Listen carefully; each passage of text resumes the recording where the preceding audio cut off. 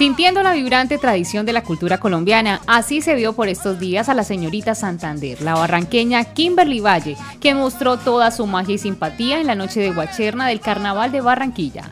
Su imponente belleza, carisma y gentileza engalanaron esta tradicional fiesta.